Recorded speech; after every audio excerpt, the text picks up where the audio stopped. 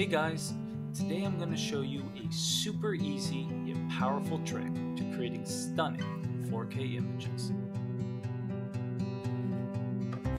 So here's an image that I had made inside Arcana.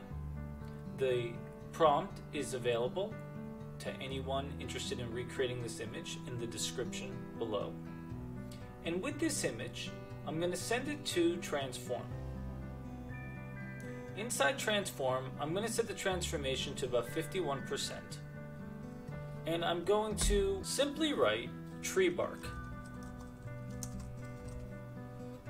This will allow me to take this image, transform it 51% to now include tree bark into the final image.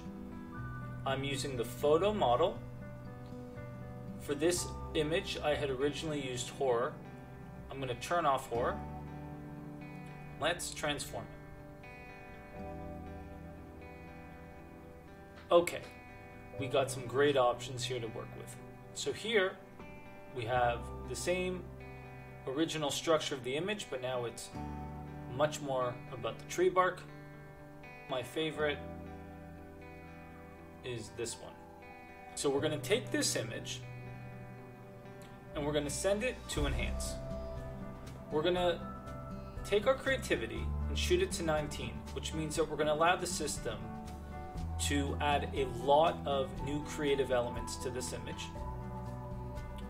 We're going to optimize it using PhotoHard, and then for the description of the enhancement we want to see, we're going to add cosmic eyes,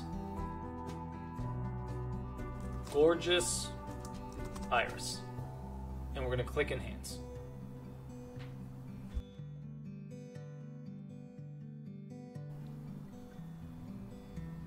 Beautiful.